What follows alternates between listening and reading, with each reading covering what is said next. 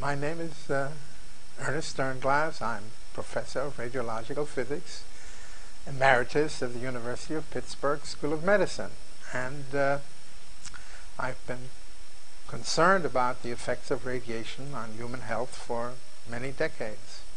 As a matter of fact, it goes back to uh, the first years uh, when we built a house here in Pittsburgh, and we were asked whether or not well, everyone was asked to build fallout shelters, and that's how I began to become concerned, because until then, I was working mainly on x-rays and diagnostic radiology, trying to reduce the dose and get better pictures.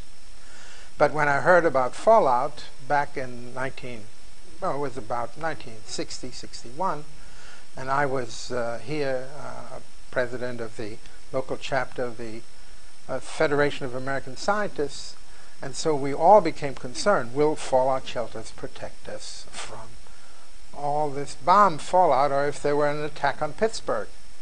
And we looked at the recently declassified data on fallout and we concluded, all of us, that there's no way to survive, even if you survive miraculously in a bomb shelter, the entire environment would be contaminated. And that is how I began, began to realize that our government was not telling us the truth about the seriousness of low-level radiation exposures. Because at the same time, in 1960, 61, I found out about a paper by Dr. Alice Stewart in England that was reported uh, at congressional hearings about the need for bomb shelters. And in that paper, it showed that when a woman receives just a couple of x-rays during pregnancy to find out the position of the baby or the size of the uh, opening, the canal through which the baby has emerged. It turns out that she found that women who had received x-rays during pregnancy had twice the risk of developing cancer in their children, that the children before age 10 developed leukemia and cancer at twice the rate than a control group of women who had the same background and same history, same age and everything, and so we knew all of a sudden that very much less radiation is needed to damage the infant in utero. Because for many decades, since the beginning of the century, 1895, when x-rays were discovered, uh, we had always taken diagnostic x-rays, chest x-rays, dental x-rays for granted. In fact, I remember as a young boy walking into shoe stores and watching my toes through the shoes, wiggling my toes. And so my father was a dermatologist and talked to my mother, who was a, uh, gynecologist and pediatrician, about the danger of x-rays, that he had to repair uh, skin cancer that had been produced by other doctors using x-rays to treat acne. And all these mistakes in the early years of medicine led to our beginning of our understanding that radiation is both a benefit and a source of great concern if it's misused. And so I was, in a sense, programmed from early childhood to uh, be worried about x-rays, having learned about it at the dinner table when my mother and father discussed it. So um, that was one thing that made me decide to investigate what happened after bomb fallout came down in the United States. And in fact, um, we didn't have any real data at the time about uh, how many children would die of cancer after the bomb testing, but uh, Dr. E.B. Lewis at Caltech uh, said there would be a significant increase, and so did Linus Pauling warn everyone about the danger of fallout. And so uh, I wrote a paper uh, for Science in June of 19, 1963 uh, in which I pointed out that if Dr. Alice Stewart's findings of just a couple of x-rays, uh, which give maybe one or two uh, rads uh, uh, compared to the thousand rads that the government thought we could survive after coming out of a bomb shelter, uh, that one or two rads doubled the risk of cancer and leukemia in children, then the bomb fallout, which was being produced by a gigantic nuclear detonation by Russia in the fall of 1961.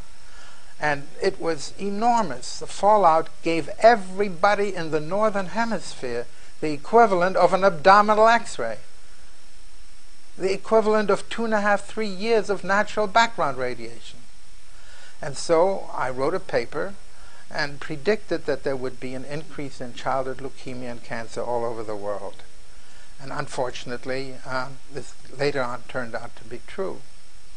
But what I did is because I had a friend who was a friend of a guy who was in the White House as science advisor, I consulted with him and showed him the paper. His name is Dr. Ralph Lapp, and uh, he had written a textbook on radiation. And when I showed him Alice Stewart's findings and showed him the huge dose from a bomb test, that we really have to end bomb testing. And so he helped me to get the paper published, and I sent a copy of it to the White House in the spring of 1963.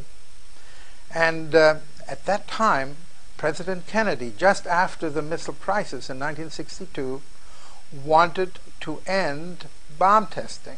The military wouldn't agree to end all bomb testing. In fact, even recently, our Senate refused to ratify a treaty to end all bomb testing. But he at least managed to convince Khrushchev that they should end bomb testing in the atmosphere and underwater and, you know, in space. And uh, fortunately, um, uh, he was very involved himself because as a young man, he had been misdiagnosed as having leukemia. And also his wife was pregnant at the time. Um, and therefore, he was particularly concerned. And right after my paper came out, he addressed the nation and said, we want to end strontium 90 in the bone of our children and leukemia in their blood, and therefore I will negotiate a test ban treaty with Khrushchev. And he sent the governor of New York to Moscow, and it was signed. And then he faced the fact that it had to be ratified by the Senate. And so he arranged for hearings. And the first time, and the only time since then, in the history of our government, that radiation was concerned, was, was being regarded as of concern to the government. And so the hearings by the Joint Committee took place in August of 1963 and a number of scientists from St. Louis, from Harvard, and myself were invited to testify about the need to end bomb testing. And that fortunately got a lot of women concerned enough to march around the White House with baby carriages and send letters to the senators and demanding that they ratify the treaty. And fortunately, one of the last things that Kennedy did before he was assassinated was he signed the test ban treaty which was approved and ratified by the Senate. And that may have been the biggest legacy that Kennedy left behind because since then we've learned that during the time of bomb testing, not only did his own baby die that summer at birth, but all across the United States and around the world, infant mortality had stopped declining. But I didn't find that out until 1968, another five years, when I went back to work on my, you know, concern about reducing diagnostic X-ray dose and so on. Um, I, I, decided that everything I talked about it in public and, and Congress, and so I hoped that they would certainly lower the permissible radiation doses and end nuclear bomb testing. Fortunately, they did end testing in the atmosphere, but they began a series of underground tests all through the 60s, which I only heard a little bit about.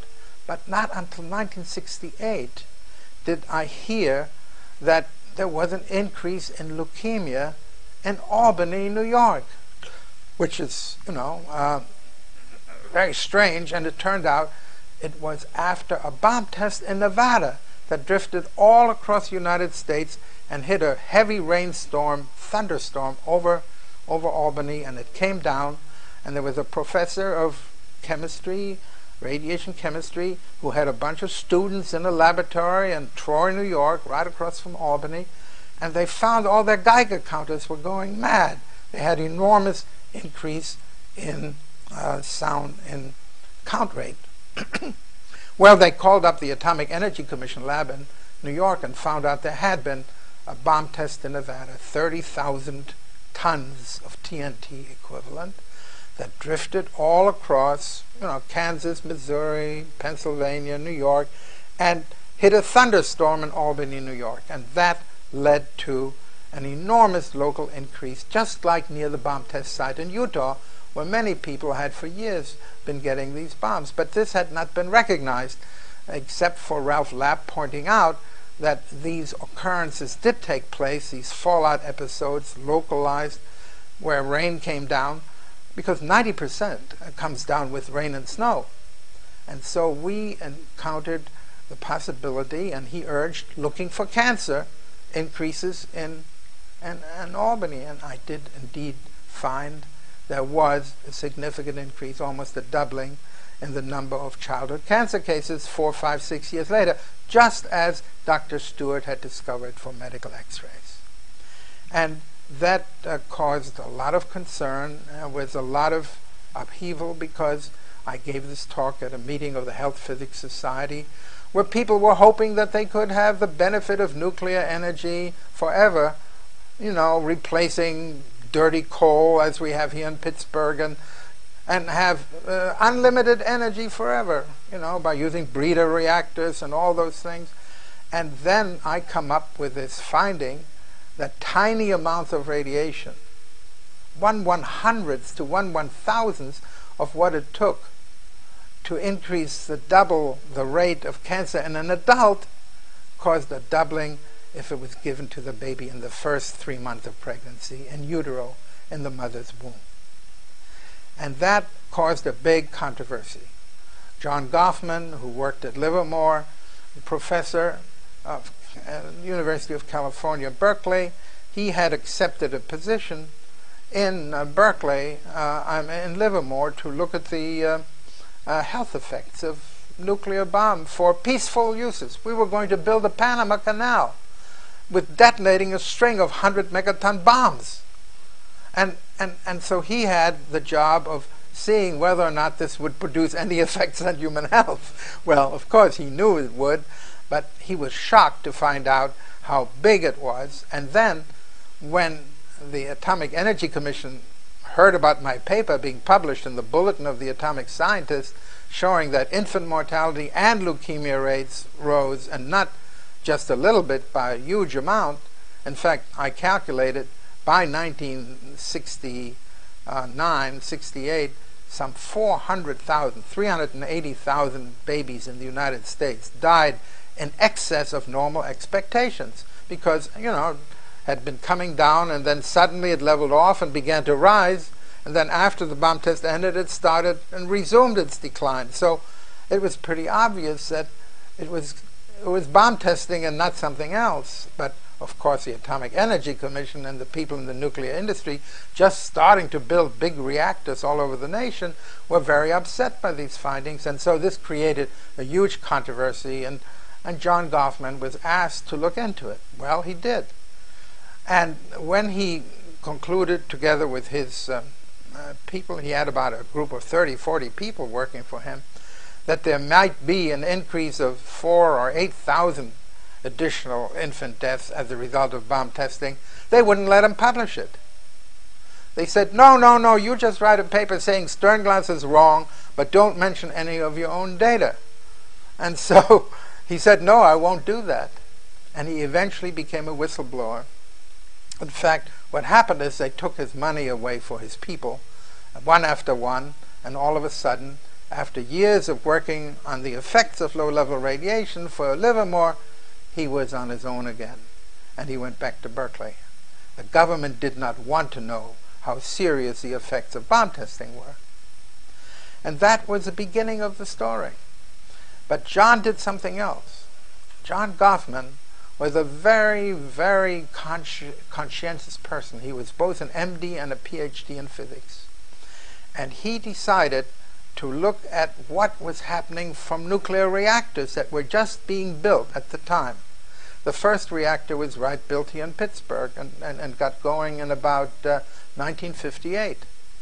And uh, he concluded that by 1968-70, from the nuclear reactors that were then operating, about 20 of them or so, he said there would be something like 32,000 extra cancer cases every year.